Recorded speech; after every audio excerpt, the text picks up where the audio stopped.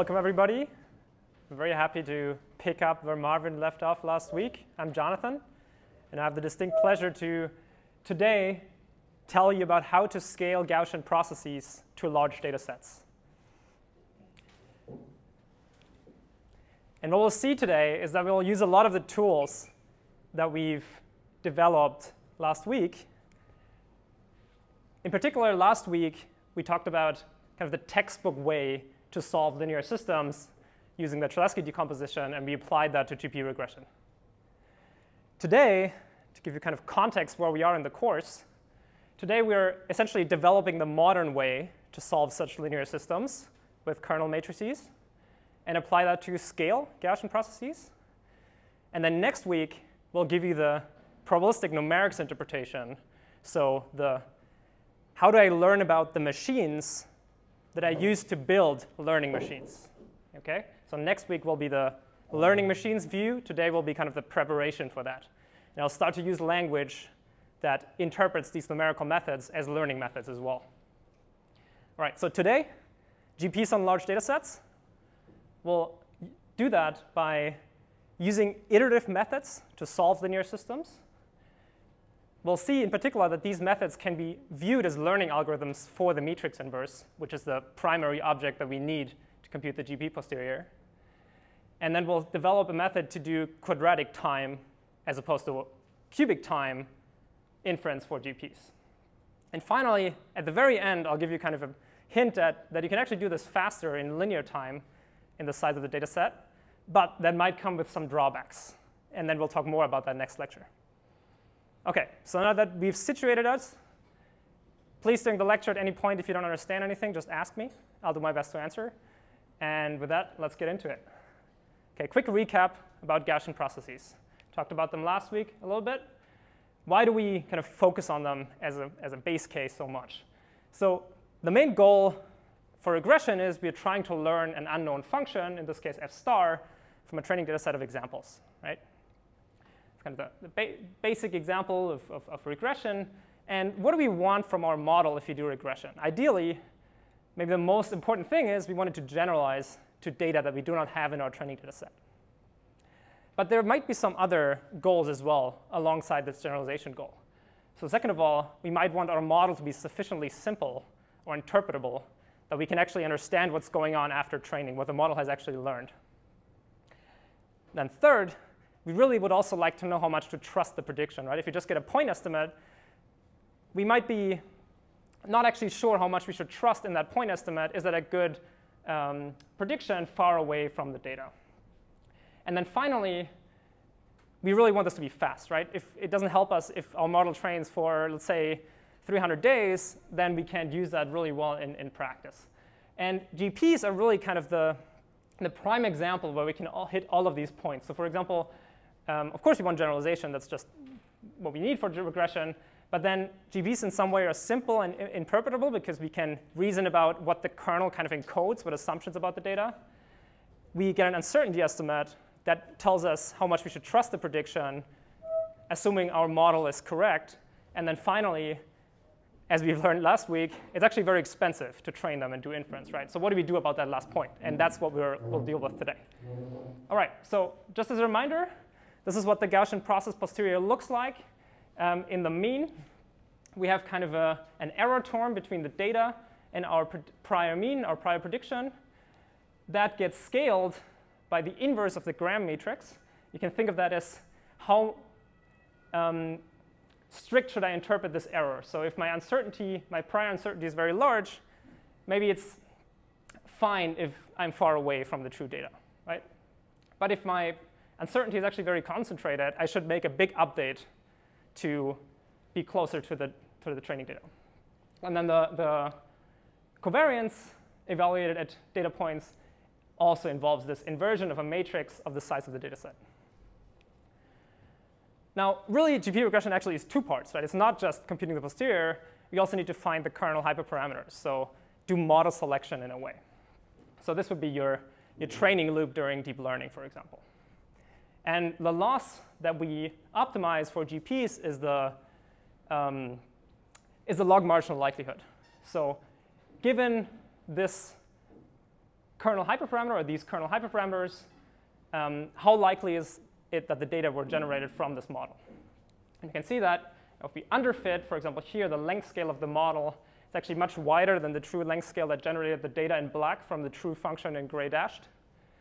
Versus the opposite end of the spectrum here, our length scale of the kernel. So the distance in which we assume data points to be related is much too short, and we kind of overfit, right? We should expect to be actually, as, as we move away from a training data point, very quickly our model says we don't actually know anything about where the true function lies. OK, so those are the two tasks. And last week, we talked about the Cholesky decomposition.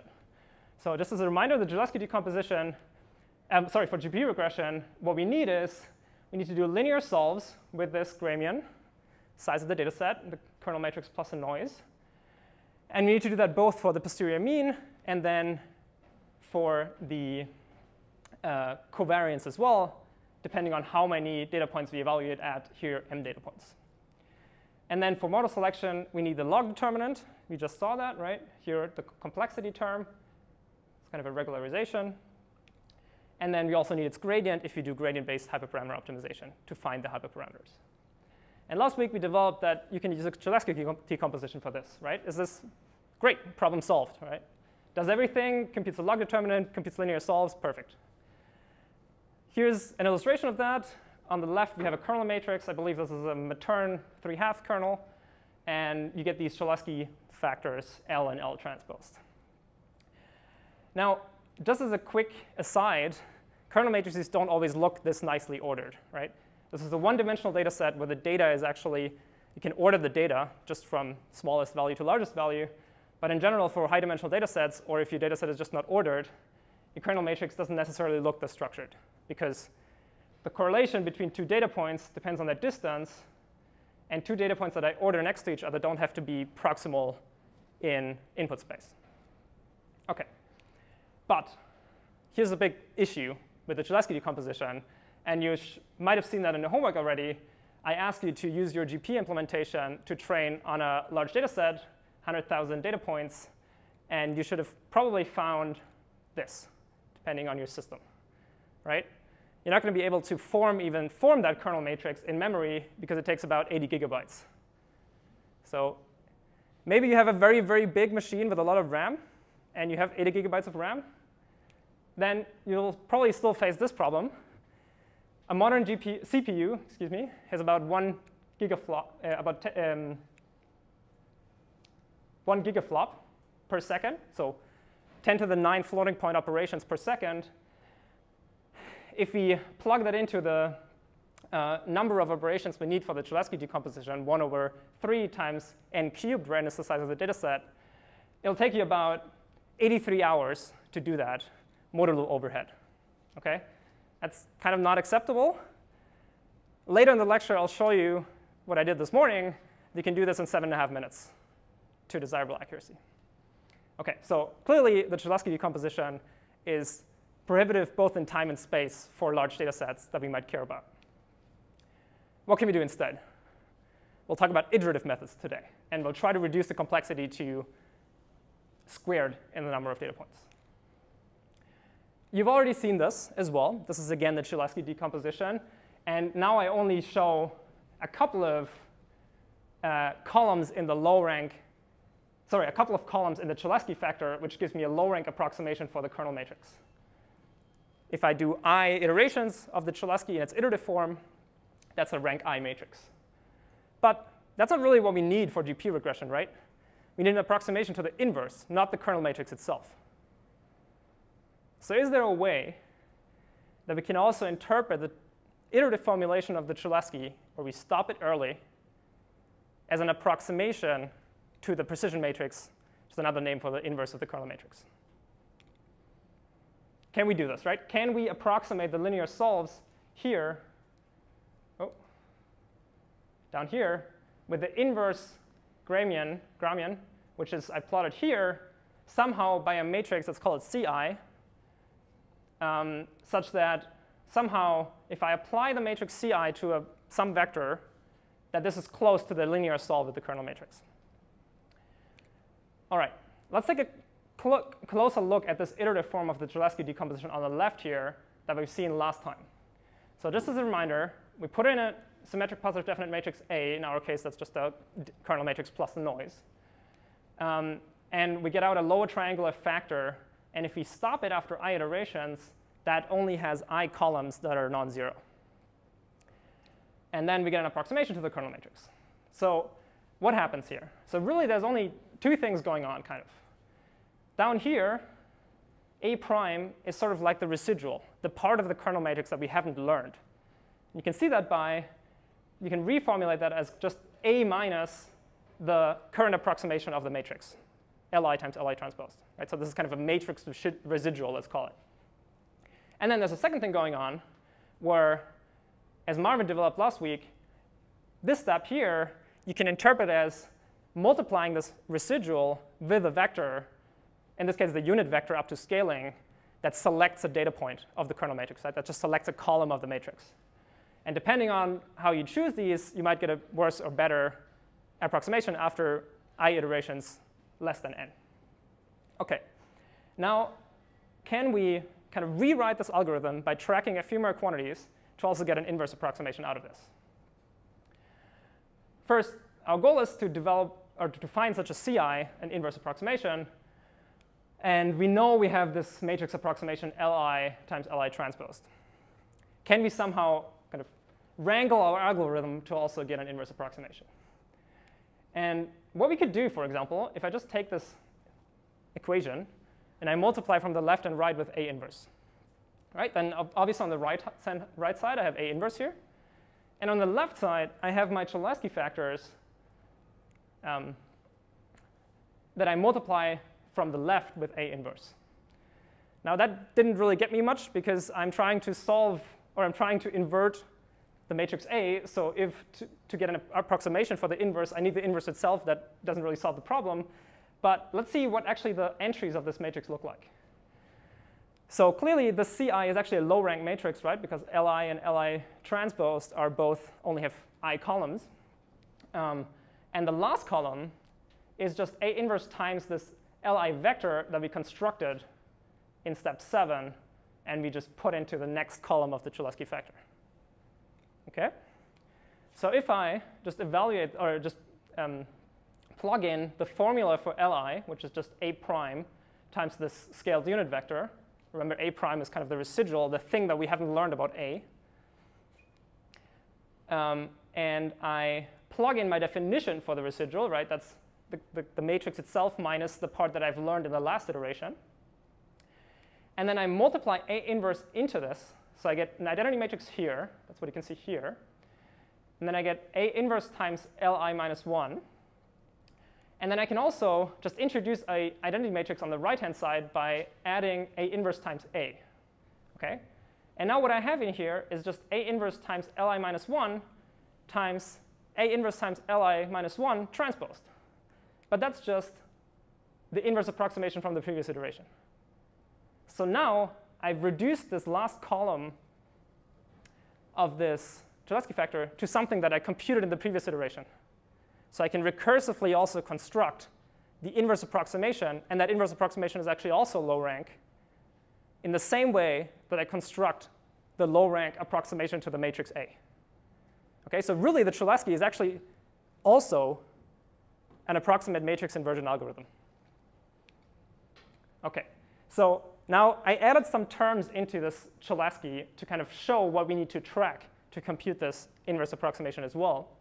So first of all, we select a unit vector that corresponds to selecting a data point if we do, if A is a kernel matrix.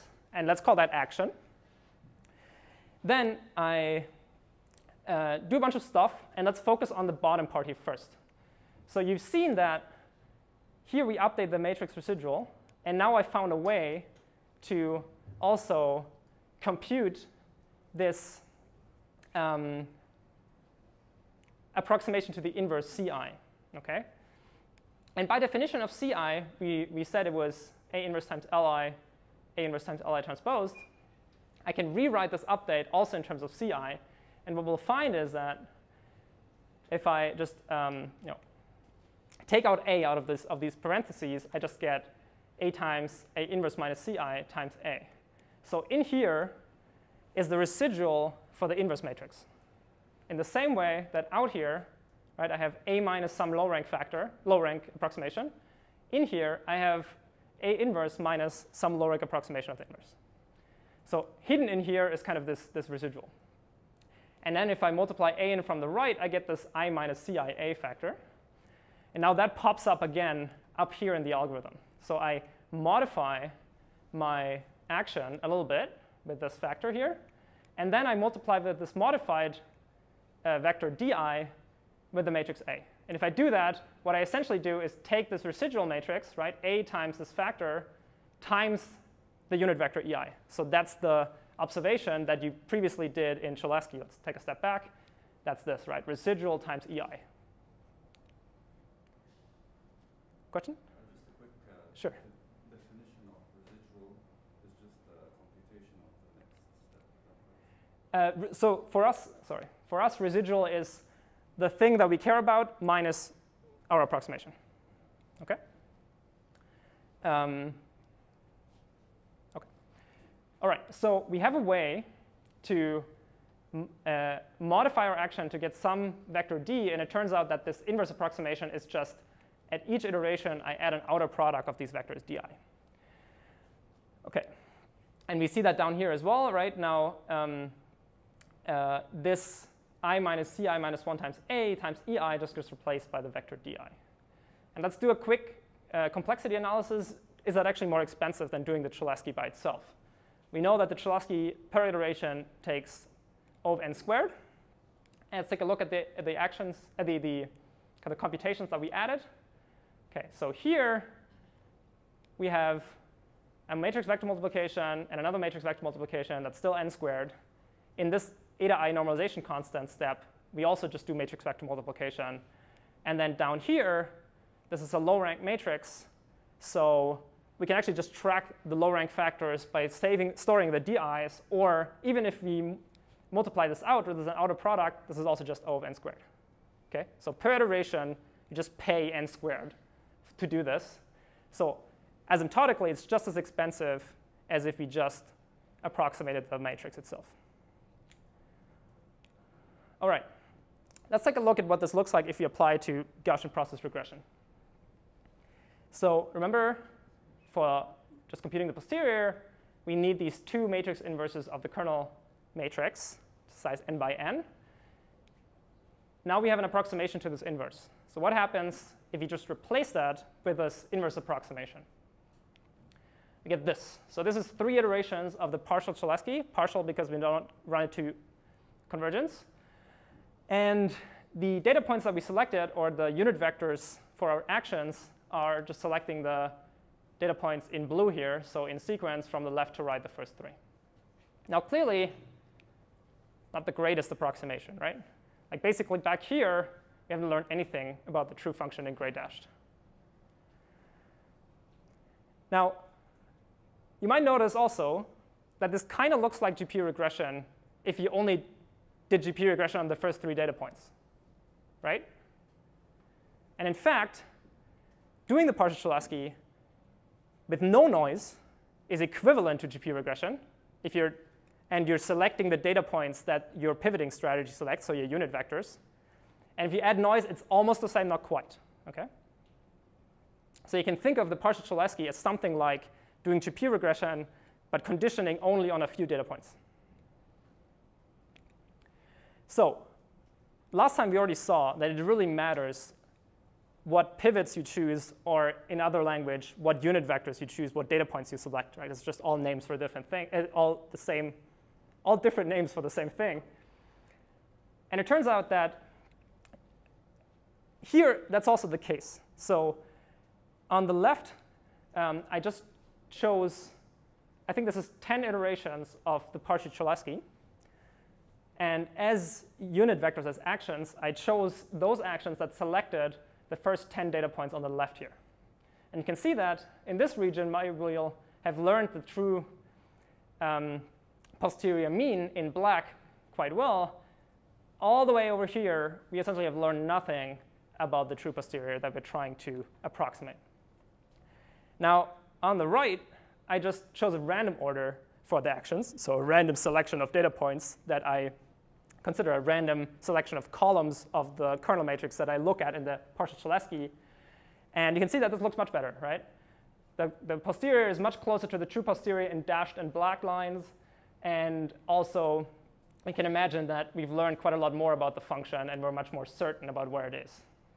So this choice of data points not only matters for approximating the kernel matrix, in particular, it also matters if you approximate the inverse and thus for GP approximation. Okay? So you can think of this selection of actions, the selection of unit vectors for the Cholesky, as a kind of active learning in the sense that if I had a strategy that while I do this at each iteration picks kind of better data points to, to condition on, I can actually learn much faster as is exemplified here by the random order. Um, but you could also think of a different strategy that selects data points in a smarter way. And we'll see that later. Okay? So the selection of data points that you choose really matters for how quickly you converge to this inverse approximation and thus to the GP posterior. So how do we do this smarter? Can we find better actions to do this?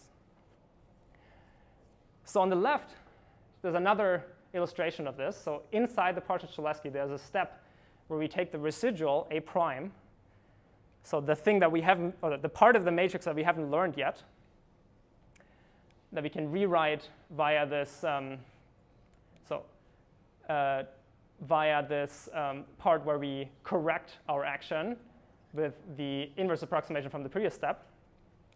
And this looks like this. So this is the residual after also 10 iterations of the partial Cholesky.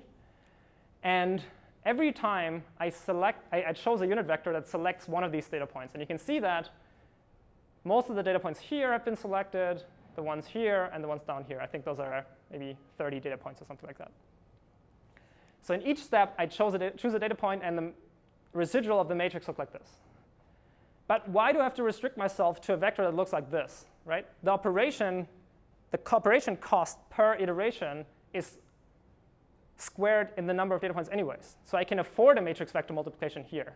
Right? I can choose any vector. I don't have to select a column.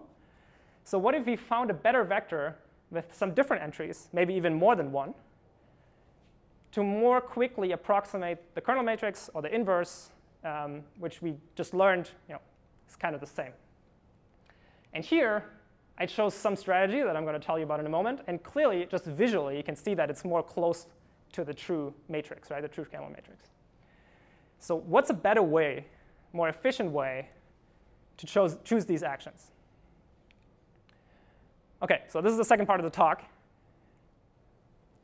And we'll talk about a method called the method of conjugate gradients that's originally been designed to solve linear systems as they pop up, for example, in GP regression, um, with symmetric positive definite matrices. Kernel matrices are symmetric positive definite, so that's great. And now we'll dive in kind of a little bit to the classic view of how this method works, and then I'll pull you back into this um, view of actually learning about the matrix or learning about the inverse, as we've already seen. OK, so method of conjugate gradients. Our goal is to solve a linear system, ax equals b. So A you can always just think of as a kernel matrix for our purposes. And you want to do that with ideally very few matrix vector multiplies. So just a few quadratic cost operations on the size of the data set to quickly approximate the posterior. Now, a different way of thinking about this problem, ax equals b, where a is a matrix and b is a vector of size n, you can rephrase this as a quadratic optimization problem.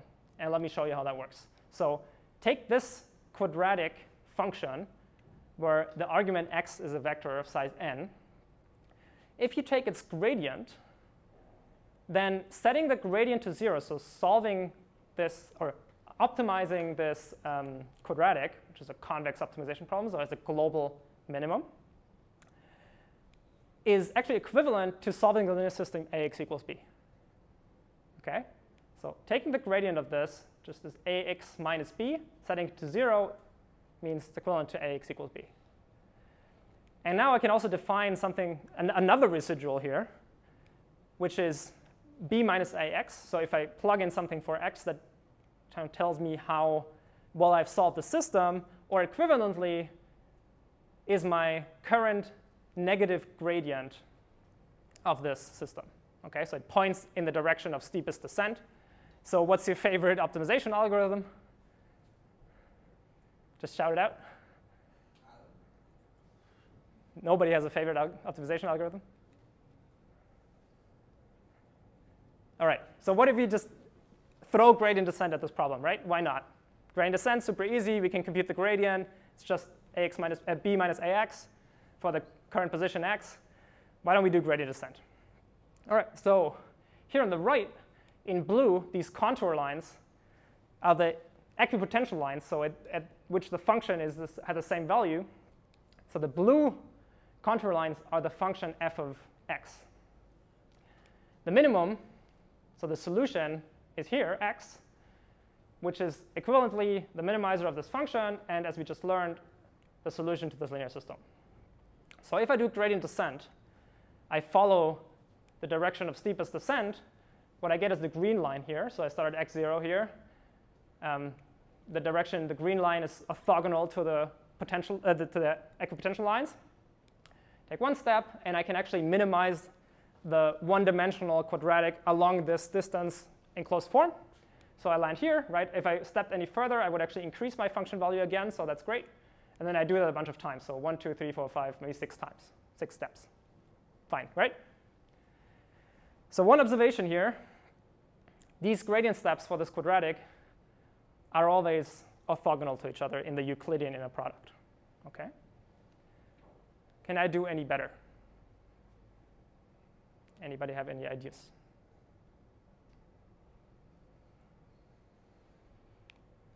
What if I slightly modify the directions that I walk in, not to be orthogonal with respect to the Euclidean inner product, so the inner product that induces this, the uh, 2 norm, but that are orthogonal with respect to the A norm, where A is our matrix. Okay? What does that look like? So here in red, we have one example of this. So take one step, and then the next step is orthogonal in the geometry that's induced by these blue lines. So what does that mean? Imagine you could squish this landscape, this blue landscape, such that the blue lines are actually a circle. Okay? So you can squish everything. In this squished space, what the red path does is it takes right angle steps. Okay? Now, of course, we don't have this squished uh, kind of space. We have this elongated space. So in this elongated space, taking orthogonal steps is actually seems to be a fine idea, but takes six, six steps. Versus if I take right angle steps in the squished space, it seems to be just take two steps. And that's actually a general result that you can show here, uh, that if you follow such conjugate directions, let's call them, conjugate being another word for orthogonal in an arbitrary um, inner product, with respect to an arbitrary inner product, I can converge in at most n steps. And now let's do a slight modification of this, because for the first step, we don't have decided yet where we should go, right? We can go in any direction. Why don't we just take our gradient, negative gradient as a first step? Walk into the direction of steepest descent, and then just modify our steps always to satisfy this conjugacy con condition, for which we then know we can actually converge for these two-dimensional problems in exactly two steps in exact arithmetic. Okay? So that's the idea. And this is what the algorithm looks like. So don't get too intimidated by the, all the symbols. I just want you to kind of get the, the gist of what the individual steps do in this graphic. Okay, so I'm just going to explain kind of the high-level parts of this. Um, it's not super important to know exactly how to derive these steps. We'll, we'll do that next lecture in a more general form. So my algorithm gets a matrix A, a vector B, and an initial guess for the solution x0. I have some stopping criterion, for example, based on the gradient, right? The gradient norm. If that's zero, we're um, uh, at the end here. And then in the beginning, I compute the residual, which we just learned is just a negative gradient, right? So I, I compute the steepest descent direction. Then, to actually figure out in which, looks, in which direction I should search, in which direction I should walk, called the search direction, I take my negative gradient, step ri minus 1, and then I do some correction. And that correction, in this case, depends on the previous step. So that's the intuition that when I take a gradient step in green here, I can, and I can't take the next gradient step, I have to slightly correct it for what I've done previously. Okay, so that's this correction part here, this minus depending on the previous search direction. And then finally, based on the search direction, I can update my estimate for the solution with some step length, and the step length is the exact minimizer along this direction. And you can see here by the equipotential lines, if I would walk farther, I would actually increase the function value again. Okay, so this is the minimum along this direction. All right, so this is the method of conjugate gradients. Great. But remember, we're looking for a method that approximates the inverse, because we don't only have to solve one linear system for the mean, but also multiple ones for the posterior covariance, right? Because we have this right-hand uh, right-hand side is, is a kernel evaluated at, new, at the training data set and new data points. OK, so can we also do the same thing or similar thing as we did for the partial Cholesky by interpreting this CG method as one that also constructs an approximation to the inverse? And the answer is yes, of course. Otherwise, I wouldn't be telling you. Um, so now we also want a matrix Ci that approximates the inverse from this method. And we'll see that this is also low rank in the same way that it was low rank for the partial Cholesky. And in black, I just carried over the steps and maybe slightly reformulated them. So take, let's take a look at that. So here for the search direction, sorry, I, um, in the beginning, I compute the residual again, same thing. And then I just call that residual my action, okay, SI. And now correcting this residual, as we did here, turns out we can write as just the residual itself minus a correction that depends on the previous inverse approximation. Okay? So this term here, that looks very complicated, we can rewrite with the same structure as we had for the partial Cholesky. That's the conjugacy correction. And it turns out that the this search direction, if we take the outer product up to scaling and sum that up, that turns out to be this inverse approximation. And to give you an intuition, sort of a very high level intuition of why that works, um, so if I take this form of the approximation of the inverse and I multiply the right hand side vector b, right, up here, it kind of should make, or if this was consistent, this inverse approximation with my solution estimate xi, it should be the case that if I multiply ci, the inverse approximation, with b, I should get xi. Right? Otherwise, I'm actually sort of developing two different estimates for the solution of this linear system. So it only makes sense if the ci actually is equal to xi if I multiply it with the right-hand side, because it's an approximation to the inverse. So now we know that the update for the solution estimate involves this conjugate direction di. Right? That's the update up to scaling. So this matrix Ci here, if that is to make sense, has to, or if it's low rank, has to have the form all previous search directions stacked into columns times all the vectors stacked into rows. Because then I get a linear combination of these search directions di as updates here. And that's exactly the form that we see here, right? We, we get one di times row vector di transposed per iteration. So I realize that that's a lot to take in, but it's actually not so important to understand where this comes from because we're doing that next week. But think of the, what I want you to get is this intuition here, OK? I can select actions that actually solve this linear system very quickly, and we'll see that in a moment. OK, quick comparison to the partial Cholesky that we saw before. You'll recognize now a bunch of things here, right? Here we selected a unit vector as an action. Here we're selecting the residual or negative gradient. Here we're slightly modifying our action, doing the same thing over here for the residual to get the search direction. We're estimating an inverse here with a low rank, actually rank 1 update. Same thing over here. Now, of course, for the Cholesky, we didn't actually solve a specific linear system, so we didn't have a step where we estimate a solution. But actually, we could compute the solution here as well by doing the same thing, multiplying the inverse approximation with the right-hand side. Okay, so these algorithms are actually very similar.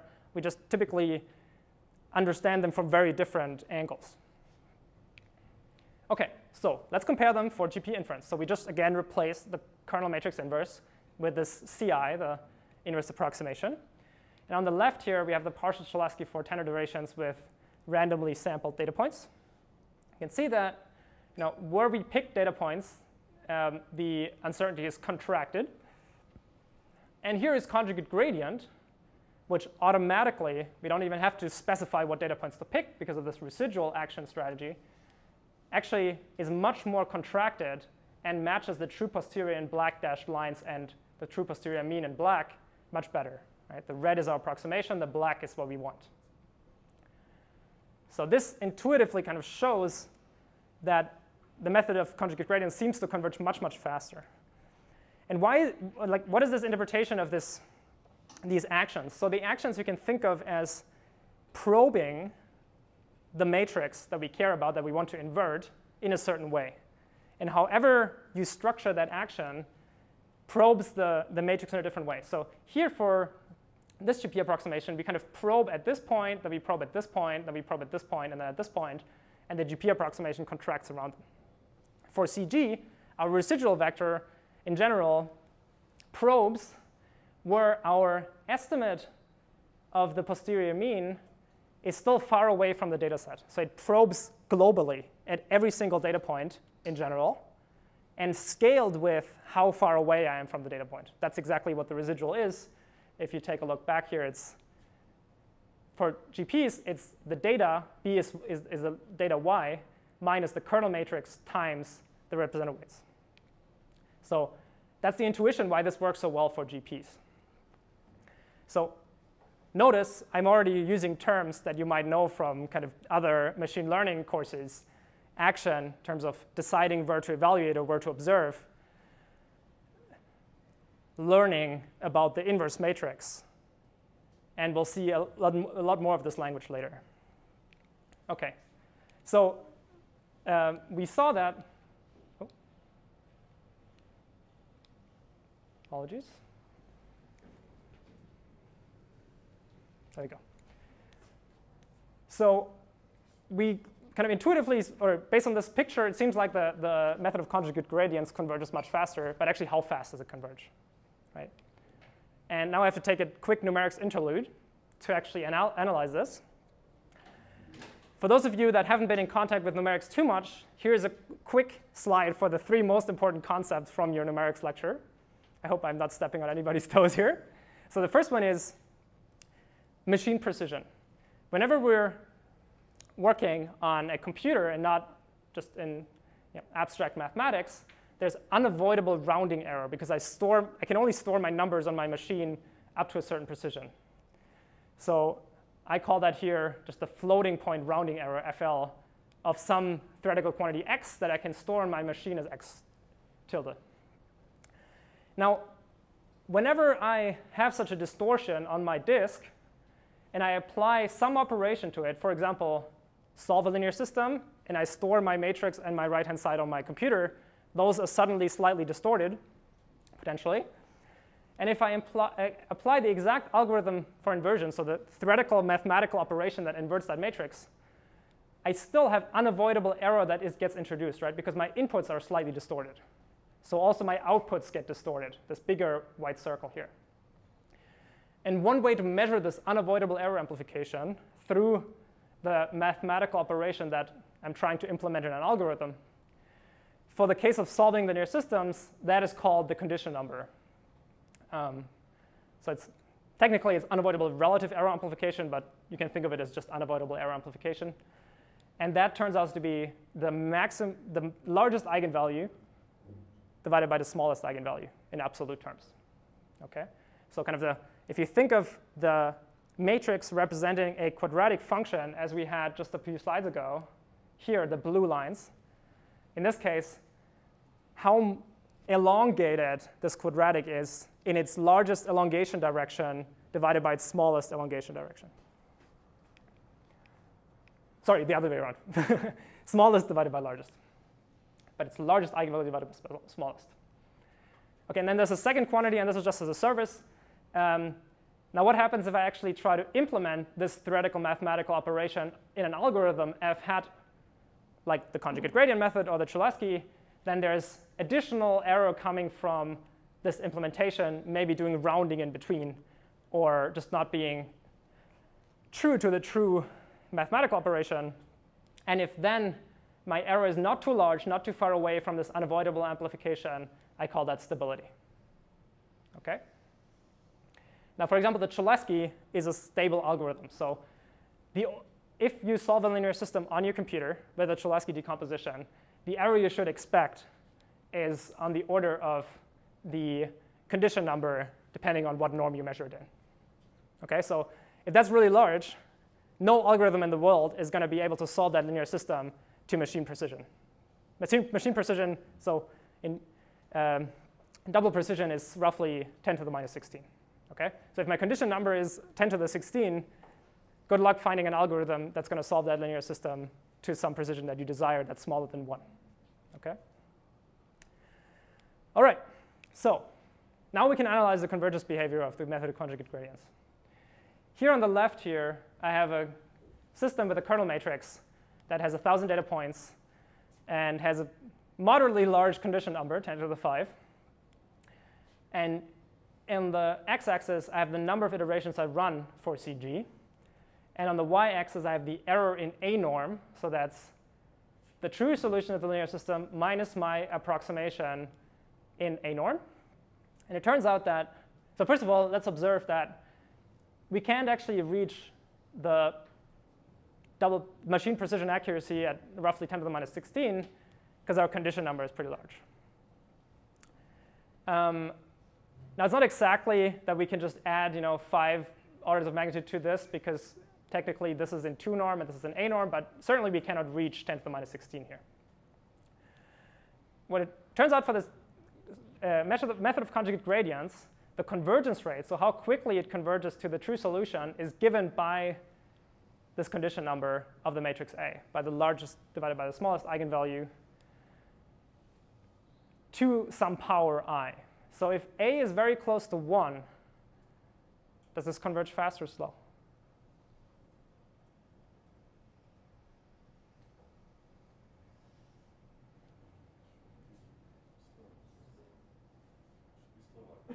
If A is close, K of, sorry, if the condition number of A is close to 1, does this term decrease fast with I or slow with I? What is, what is the um, numerator if kappa of i is close to 1? Just shout it out. Close to 0, OK? What about the denominator? Close to 2. So this is almost what? So if now I take that to a power, does that decrease fast or slow? Compared to if let's say kappa of A is a million. What is the fraction here, roughly? Almost one. Almost 1. So what converges faster, if kappa is a million or if kappa is 1? 1, right? Because then this thing here is almost 0, so this arrow decreases really fast. Okay? Because if this is a million, then this is almost 1, and if it's 1, it doesn't decrease at all. So the closer to 1 we are, the slower we converge. So here, we should expect actually not such fast convergence, right? The condition number is quite large. Turns out it, it converges still qu quite OK in a few hundred iterations relative to the problem size, 1,000. That's not too bad. By the way, I only chose such a small problem here because I actually need to compute the true solution to evaluate this. Right? So I need to be able to compute a Cholesky to get a solution that's within unavoidable error. So we can see that CG converges fast if the condition number of my system is small. But does that mean it converges fast for all cases that we care about, for example, for the kernel matrices? Here, similar example, 1,000 data points, A is a kernel matrix, and I vary the damping, so the observation noise of my model. I increase it from blue to bl uh, from red to blue. Uh, sorry, I decrease it from red to blue. So I assume less and less noise in my observations. And you can see that the convergence of CG actually slows down as I decrease the observation noise. And the reason is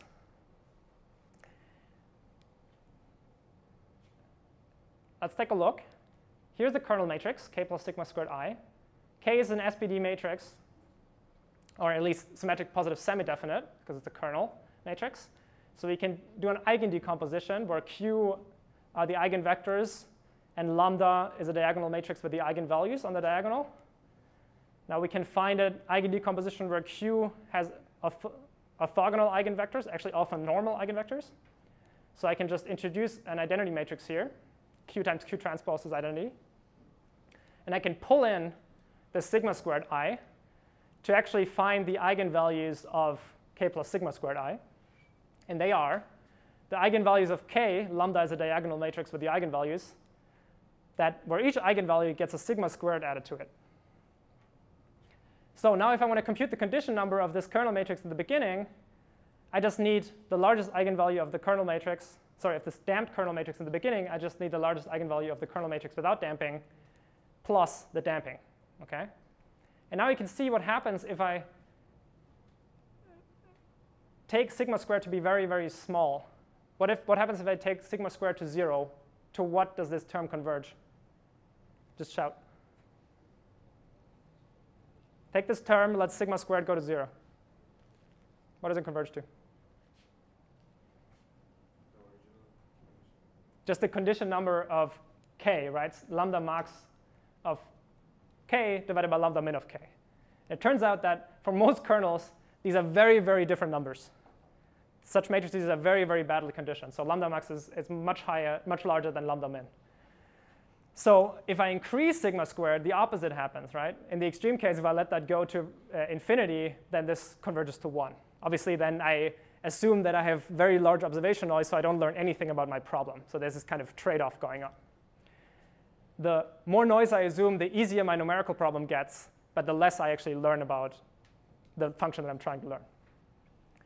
And to give you an intuition why this condition number of k is large, the condition number is something like the largest uh, is the largest eigenvalue divided by the smallest eigenvalue. Now, if I have two data points in my data set that are the same, two rows in my kernel matrix are the same right? Because the row of a kernel matrix are the kernel evaluated at the current data point and all other data points. So if I have two rows where I have the same data points, I just have the same rows. And obviously, then that matrix has a zero eigenvalue, has low rank, right? Doesn't have, sorry, has rank less than n. And if it has rank less than n, then this eigenvalue has to be zero.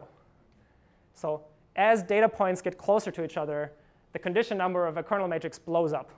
And close to each other is relative to the kernel length scale. So if observation noise is small, so sigma squared, let's say, is very close to 0, and I have close data points in input space, I have a problem, because then CG converges close, uh, slowly. So what can we do about this? The answer to this is preconditioning. So assume we have a computational tractable approximation P to the matrix A. So we know something about this matrix, in this case, the kernel matrix. And we assume that the storing this matrix is rather cheap relative to storing the matrix A. We can actually efficiently evaluate its inverse, uh, or pseudo-inverse, and maybe we know, even know its determinant. So we know a lot about this, this matrix that's approximately A. And the idea is we solve an equivalent linear system where we just multiply from the left with P, in, P inverse. And this system still has the same solution x, right? I haven't changed anything except that I multiplied from the left, but this equation still holds. So x is still a solution to the linear system P to the P inverse A as a matrix and P inverse B as the right-hand side. And now if I can choose my precondition such that this condition number is much, much, much smaller than the condition of, of the original matrix, I've gained a lot, right? Because I've replaced my original problem with an easier to solve problem where my method CG converges much faster. And the intuition you should have about this preconditioner is it's like prior knowledge about my problem. I sort of know something about this system that I'm trying to solve that makes it easier for me to solve. In the same way that, let's say I've, i take a, a, probabilistic learning method, if my prior is very concentrated um, around the true quantity that I'm trying to infer, I can learn very quickly, or I don't have to actually collect a lot of data. And preconditioning is, is the same intuition. And geometrically, what preconditioning does is this is a 2D linear system again with a interpretation as an optimization of a quadratic where blue lines are the contour lines, and I have a large eigenvalue and a small eigenvalue. That's why it's kind of elongated. Now, if I have a, um, if my precondition is just the inverse itself, it immediately snaps the matrix A to an identity matrix, and I don't have to do anything because it just says x equals p inverse b, and I have a solution, right? So p kind of transforms my problem in such a way that it's slightly closer to the identity matrix, and then easy to solve. And it turns out that because of this property here, that the condition number of the system gets lowered, it actually accelerates CG. And in finite precision, it actually makes it also more stable, but we won't go into that. OK. So let's try to get an intuition for how we can use this form of prior information. And I use that term loosely. Next, next time, we'll make it kind of precise. To quickly excel to, to solve linear systems quickly for GP regression. OK. So if I now use CG with a preconditioner, it's actually very simple. The only thing I have to change is I don't look into the direction of steepest descent, Ri minus 1, so the residual or negative gradient, but I slightly warp that based on this preconditioner. And what happens is, here's again number of iterations of CG in log space, and the error in A norm to the true solution. As I increase the quality of my preconditioner here, I'll explain the type of preconditioner in a moment, you can see that I actually converge faster, right? The error decreases, and this is in log space, so I need a factor two orders of mag sorry, one order of magnitude fewer iterations for this problem.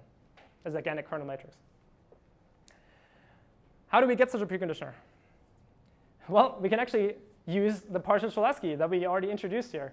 So one way to precondition kernel matrices is to approximately approximate the kernel matrix K, add the noise, and then this is a low rank approximation of rank L, right? I just run the partial Cholesky for a few iterations. And then I can store this thing in, it's just L vectors of size n, so it's O of NL, which is cheap compared to the size of the matrix. And this is a low rank plus diagonal preconditioner.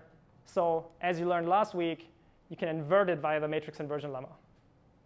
Okay, so you can also compute the inverse, P inverse here very quickly. And last week we learned that's O of NL squared. So even linear time, and we can afford quadratic time per iteration. So that's also the precondition that we used up here. Yeah. So yeah, I'm a bit confused because in getting the Cholesky decomposition also like our main concern for developing this algorithm was that you were not getting uh, good uh, approximations. So hence you were you developed this action method, right? Yeah. So one, so if you want a good preconditioner, you're using Cholesky to compute that again, don't you have that same problem there? It's true, you have that, so you could even construct an even better preconditioner by selecting better data points. Very true. But it turns out even you know, doing a very dumb strategy, just randomly sampling, really accelerates my method. And the issue is if I would just run CG without preconditioning, it doesn't converge as fast because of the convergence statement. Okay? So somehow that's a really good method, but we have to warm start it maybe a little bit to get that benefit. That's kind of the intuition. OK, so now let's try that out. Here's a large-scale linear solve, and I promised you in the very beginning that I'm going to reduce the time of 83 hours of solving a large-scale linear system with 100,000 data points to about seven minutes. Here's such a data set, matrix of size 100,000. This is a kernel matrix. It's a Matern 3 half kernel. I use a preconditioner. I run it, the partial Cholesky, for 20 iterations. That takes about one and a half minutes on my machine upstairs. And then I run the preconditioned Cholesky. And what you see is that the residual converges to about 10 to the minus 8, 10 to the minus 9 in 60 iterations. OK? So actually, we could have stopped this even earlier, uh, maybe in about three minutes, and would have gotten a very accurate solution. Now, one quick side note, I'm not showing the error in A norm here, because I would have to compute the exact solution, but I can't do that, because the system is too large. Right? So I can only show you the residual norm, but that's the proxy that we use to track how accurate we are. And the residual norm is almost the same thing as the error in A norm. It's the error in A transpose A norm. Okay? So you can see that I can now do, I can compute a GP posterior for a 100,000 data point data set in maybe seven minutes on my desktop machine upstairs. Now, you might ask, well, I have to do more than one solve, right? I have to maybe during hyperparameter optimization do multiple solves. Actually, you might be able to um, reuse preconditionals for this, or if you actually have multiple systems that you need to solve, this cost also amortizes because you only have to compute the preconditioner once. OK. But what about hyperparameter optimization? I've only told you how to solve linear systems. I haven't told you anything about how we actually do hyperparameter optimization. For Cholesky, Marvin told you you can just compute the log determinant by taking the product of the diagonal of the low rank, sorry, of the lower triangular factor. How do we do this for CG? We need to, remember, we need want to optimize, want to find parameters theta of the kernel, like the length scale, to optimize the log marginal likelihood. That's our loss, our objective function. So we need to evaluate the loss to kind of check how good be r. And most importantly, we need to compute its gradient so we can actually optimize with a gradient-based optimizer. So it turns out that the, the gradient of the log marginal likelihood here, remember, it has a fit term here that involves a linear system solve and a log determinant. If I take the gradient with respect to the hyperparameters, I get this term for the fit. So that's, again, two linear system solves um, with the data. And a trace term here as the derivative of the log determinant of the kernel matrix that also involves a linear system solve. So we have two costly operations to do this hyperparameter optimization. We need to solve linear systems, k hat inverse times a vector. Most of the time, it's the data minus our prior mean. And in this case, it's also a linear system solved with the derivative of the kernel matrix. But we've solved this. Right? We can use CG. That seems to be really fast. We have to precondition fine. But actually, we can scale that up to, as you just saw, 100,000 data points. But what do we do about these things? We also have to compute traces. Arguably, maybe we could say we can get away with not evaluating the log marginal likelihood and just terminate when our gradients are vanishing. Right? Maybe that's fine. But that still involves a trace of a linear system solve. Now, how do we compute these traces? Let's take a step back and look at the definition. So the trace of a matrix is the sum of its diagonal. Okay, so the sum over the diagonal elements, AII. One way I could write this using matrix vector multiplication is just multiply from the left and right with unit vectors that select the diagonal element, right? Actually, it's also equivalent to the sum of the eigenvalues, but this is the, the, the thing that we all want to look at for now. But our problem is we, don't, can't we can't afford cubic computation. We can't afford n matrix vector multiplies because that would be n times n squared cubic. We want to ideally approximate this thing to high accuracy with L much fewer than n matrix vector multiplies. Because if we can do that, we can solve linear systems with small number of iterations i, and we can compute traces with a small number of iterations L. And hopefully I plus L is much smaller than N. Then we found a method that approximates Gaussian process regression in quadratic time on very large scale data sets, as we just saw. So let's make an observation about this uh, trace of a matrix. Say we had an orthogonal um, matrix Z so that C times Z transposed is just the identity matrix. Then we can just rewrite the trace of A as the trace of A times this identity matrix, which is introducing a 1. And by trace rotation, I can just pull this matrix to the front, and I get the trace of Z transpose AZ. And if I just use the definition of the trace as selecting kind of the diagonal elements, what I get is it's selecting zi transpose azi, or, or I get terms that are zi transpose azi. And that's also actually the proof for this being the sum of the eigenvalues, because if you choose orthonormal eigenvectors for this, you just get back the eigenvalues, right? Because a zi, if zi is an eigenvector, is lambda i times the eigenvector, and zi transpose zi is just 1 because it's ortho an orthonormal system. OK, but that still doesn't get, it, get us all the way there because that's still n, actually 2n matrix, sorry, n matrix vector multiplications. OK, crap. Well, what do we do if we uh, don't know what to do? Why don't we just randomize? Why don't we just draw a small number of random vectors with a certain distribution, in this case, zero mean and covariance such that if I scale it with the square root of the dimension, I get an identity covariance. Maybe I can hope that that's actually a good approximation of this thing up here. And let's see whether that works. So the trace of A, I again can introduce just an identity matrix. Now I, I posit that the covariance of square root of n times zi equals the identity identity, then this square root of n gets squared and pulled out. Trace is linear. I get an n up here, and the trace of a times the covariance of zi. But the covariance of zi is nothing but the expected value of its square for vectors that's zi times zi transposed minus the square root of the expectation. But the expectation is 0. So I just get the first term here. And now I can pull out, sorry, I can pull in, since the expectation is linear, my matrix A. So I get A times Zi, Zi transposed. I can flip the expectation and the trace because they're both linear. And I can do trace rotation to pull up the Zi transpose to the front. So I get the trace of a scalar now, and of that the expectation. Now, the trace of a scalar is just the scalar itself. So n times the expectation of this quadratic form, zi transpose azi. And now I can approximate this expectation with Monte Carlo. So I only draw L random vectors to get an approximation of this trace. That's the idea.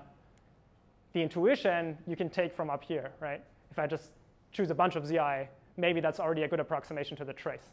And that's the idea of this randomized approximation. So now I found a way to also reduce this problem of trace estimation to matrix vector multiplication, which is the operation that I know is quadratic time. I can re do really fast on a computer. And hopefully, I only need a small number of these random vectors. But I don't need a small number of random vectors. Here is a plot that shows the number of random vectors on the x-axis for the estimation of the log determinant. Now, remember last time you saw that you can rewrite the log determinant as a trace. I'll, I'll show you that again one second here. The log determinant of the kernel matrix you can rewrite as the trace of the matrix logarithm of the kernel matrix. So if I could evaluate the logarithm of the kernel matrix, I could just do this trace estimation strategy that we just outlined let's assume we can just compute this function of a kernel matrix. For us, it's always the log, if we care about the log determinant, and not care so much that we also have to estimate this in the middle. Let's just say we, we can do that.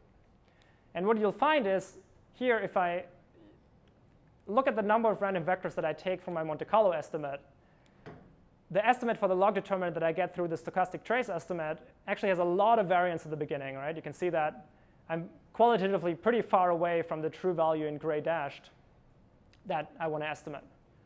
And I literally need tens of thousands of random vectors. And this is actually a problem of size 10,000.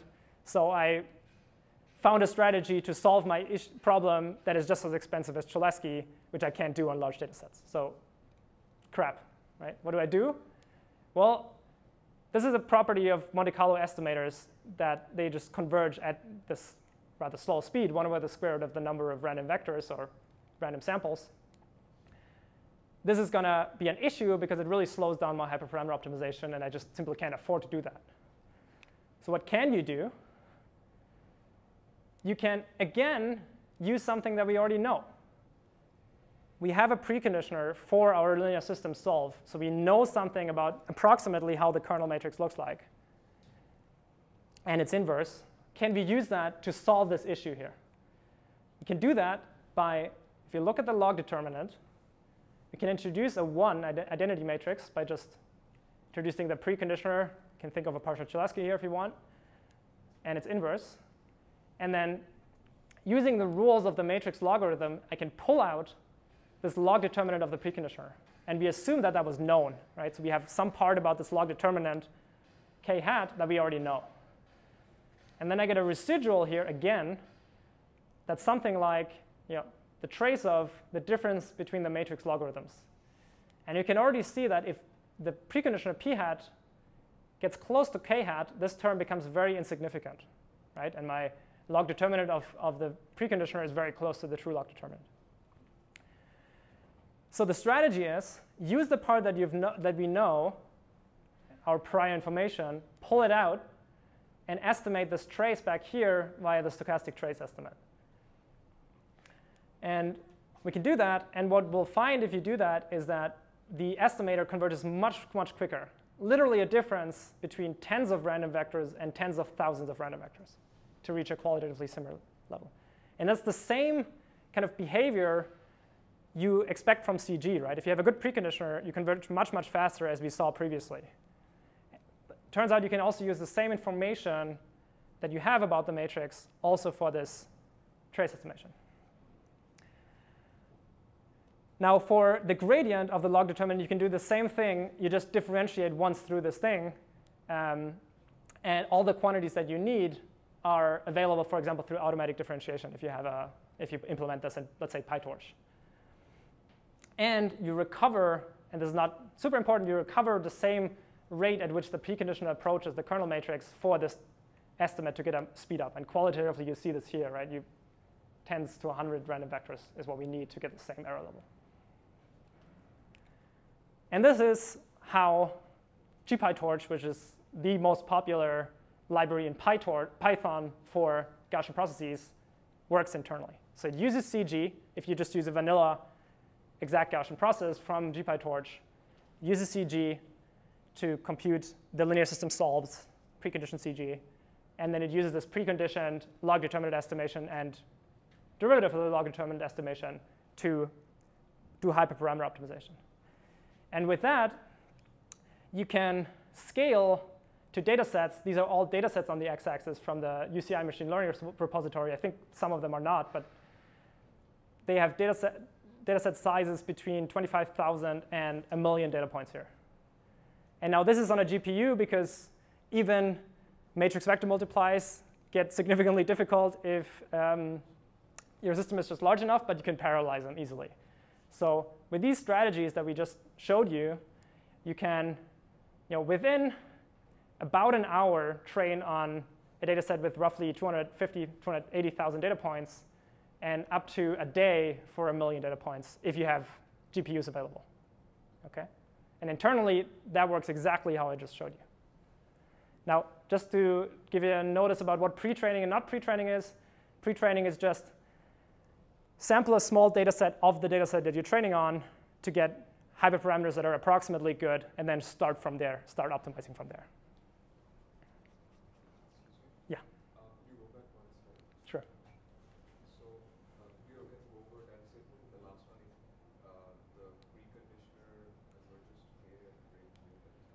So so the question was, can I explain again how essentially this part, right? Why do we get this increase in the rate? So clearly, if the preconditioner, if it's a low rank preconditioner, it depends on the rank L of the low rank part.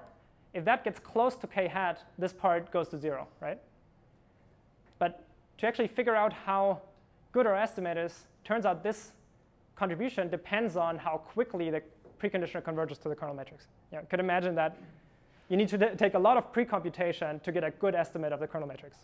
Then that would not help you very much because it's very costly to do that. if this thing converges very, very quickly to the kernel matrix, you can invest very small amount of pre-computation to do this variance reduction strategy, to this quicker convergence strategy. Okay?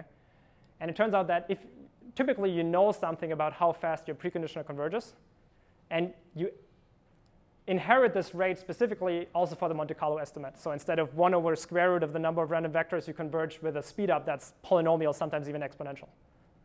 And what that means is you, know, you converge to the true value much, much, much faster. OK, so now you know how you can do this large scale with iterative approaches. You can scale Gaussian processes to large data sets. Let's do a quick recap of observations before we move to the final part. So you've seen that we kind of used language of iterative solvers choose these things called actions, which are vectors, that essentially determine how to observe my matrix, my kernel matrix in our case. This choice of how to observe the kernel matrix through the matrix vector multiply really affects how fast we converge. Okay, we saw that because CG which used a different strategy, used residual vectors, converged much, much faster in just a few steps relative to the problem size, which was 100,000 for the example that I showed, and we had, what, 60, 80 iterations. Now, choosing these actions can kind of be interpreted as the solver choosing itself what to observe about the numerical problem, in this case, solving the linear system. And we know that if we, if we put in more information about our problem, if we already know an approximate inverse of the matrix through a preconditioner, we can accelerate these methods, either for a linear system solve, like for CG, or for this preconditioned log determinant estimation through the stochastic trace estimate. So in conclusion, for these, to, to, develop fast numerical algorithms for, these, for the Gaussian process case, you really need some sort of domain expertise in the sense that these solvers need to know something about the problem that they're solving through the precondition ideally or through the choice of actions to quickly converge. If you just do naively partial Cholesky, you saw that that didn't really look like the G posterior um, if you just selected the data points in order. So the algorithms themselves need to know something about the problem to converge fast. But we can tell them how to collect that information to warm start themselves. Can we do this even faster? I said now we have a method that uses a small number of quadratic operations, matrix vector multiplies, to scale to large data sets.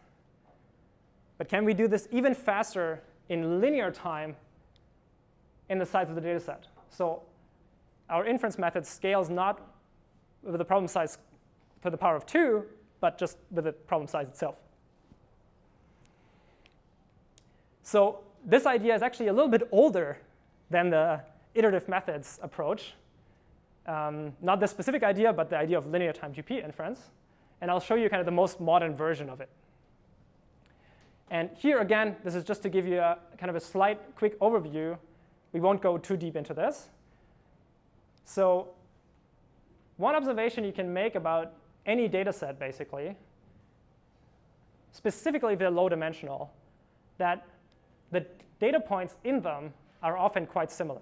Right? You often have data points that are quite redundant. You get training examples where the example that you get is similar to one that you've seen previously.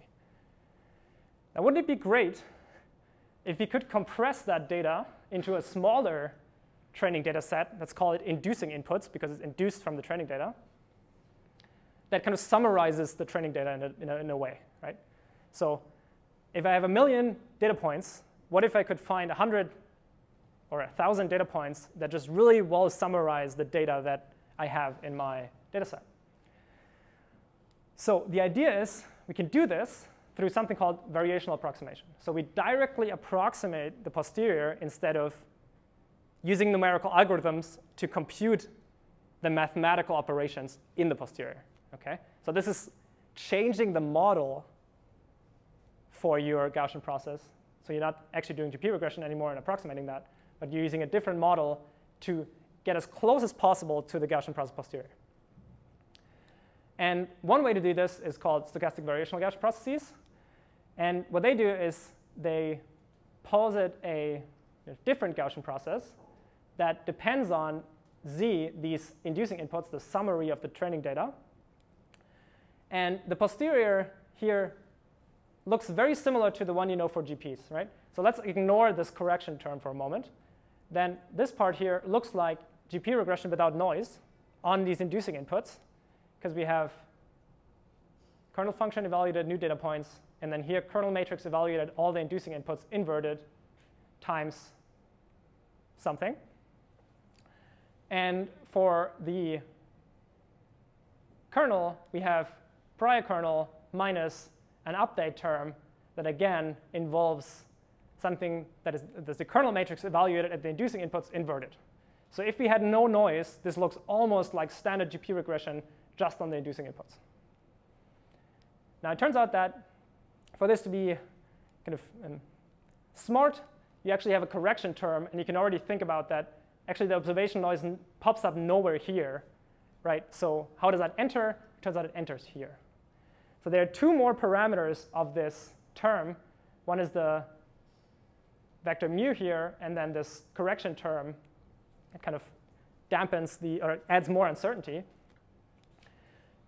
So I have three things that I can modify to get a good approximation to my Gaussian process posterior. That is the summary of the training data, this vector mu here that plays a role like the observations, the label vector, and a term that adds additional uncertainty through sigma here.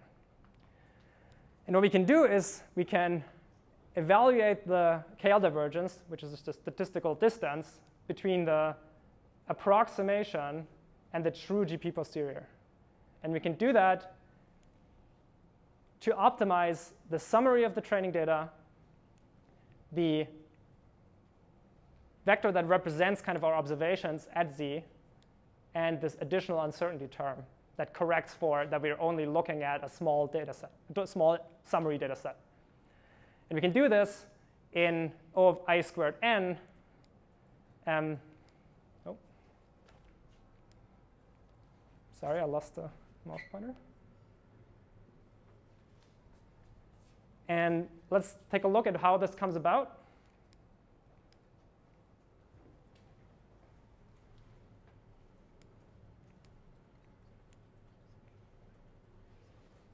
So in black, you can see that we have to invert the kernel matrix at the inducing inputs.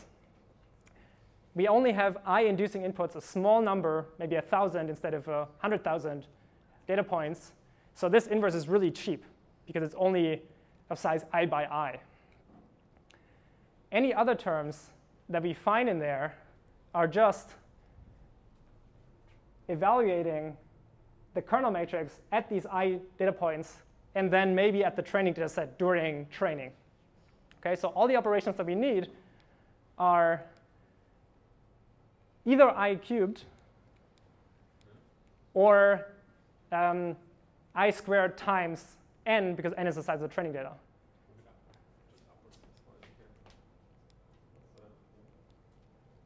With the one exception is evaluating, oh, okay.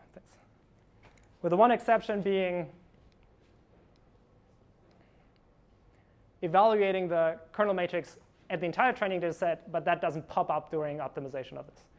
So the idea is summarize the training data, find a direct approximation to the posterior and that direct approximation only takes O of i squared n. Great, right? Should we forget about iterative methods now? So, yeah? How are you optimizing the variation objective?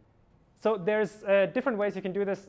The, the, the reason for the naming stochastic here is typically you do something like batched optimization or SGD. So you can really quickly optimize this with your favorite optimizer, typically. So the computational complexity that you're adding, does that also include like the optimization? So the most expensive operation is asymptotically in this, but there's you know, a number of optimization steps that you do. But the most expensive operation in the training data set size is n. Okay? Remember, for iterative methods, we also have to do hyperparameter optimization. So we also have to solve multiple problems at quadratic complexity, for one for each hyperparameter optimization step. But the number of hyperparameter optimization steps is typically way, way, way smaller than the problem size.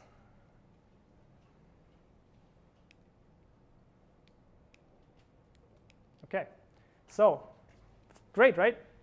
Now I've spent maybe an hour telling you about iterative methods, and now I'm telling you you shouldn't use them. Well, this is what happens, for example, if you do stochastic variational Gaussian processes. So here in blue is the exact GP on this small data set so that we can visualize it. In black X's are the observations, so these are our training data. In blue, light blue is the uncertainty of the exact GP. And in gray lines here are the inducing inputs. So this is where we initialize our summary of the training data set. Here's a, uh, a summary data point here, here, here, here, here, and here, and here. And now during optimization, I said we optimize both the mean, as these parameters mu and, and sigma, but also the inducing inputs. And you can see here, um, as I optimize, here's where I start. These inducing inputs find a location that summarizes the data set well. But there's one issue.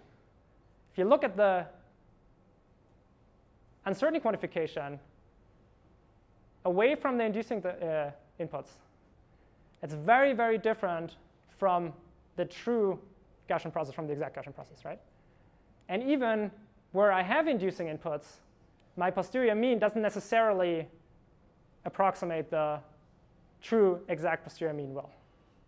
Now for iterative methods, I haven't shown you such a, I have shown you such plots, but I haven't also quantified how close it is, right, to the true solution. So the question is, is this a problem for these linear time methods? And how much of a problem is it for iterative methods? The one thing we have going for us with iterative methods is we can online control the accuracy of our approximation. Right? We can just keep running the method until we have no more time, and then stop, and that's how accurate our GP approximation is. The inducing point method, typically, you have to set the number of inducing points a priori for your data set, and then you, opt you optimize them. Now, you can run the optimizer for however long you want, but the number of inducing points stay the same.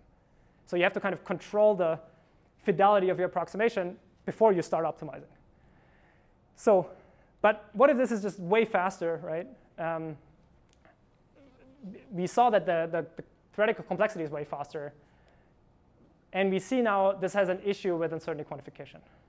So the question that I leave you with today is, can we design a method where we can trust the uncertainty quantification just as much during any part of the approximation, no matter how much computation we've done?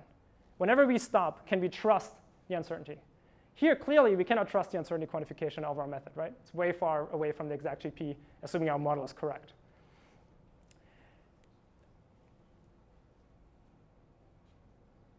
All right, with that, I'll summarize. We've seen that clearly scaling Gaussian processes to large data sets requires approximation. There are memory and time complexity costs associated with it. Iterative methods, like the partial-Cholesky CG, enable us to approximate the posterior and do hyperparameter optimization in quadratic time in the size of the data set. There's also an interpretation of these methods as active learning algorithms, and we like that precise next time. Preconditioning is a way to accelerate these methods, and that uh, can be interpreted as a form of prior information, something I already know about the problem that I put in to make my method faster, to learn faster. And then finally, sparse GP approximations enable inference in linear time, so way faster, but there might be an issue of uncertainty quantification, right? And really for GPs, that's the entire point why we use Gaussian processes, because we want to, be no, want to know how much we should trust our prediction. OK, so next week, I'll actually make that precise. In what way are these iterative methods actually learning machines? In what ways are the tools we use to approximate learning algorithms like the Gaussian process, learning algorithms in themselves. And I won't only use kind of language that alludes to that, but I'll actually show you exactly.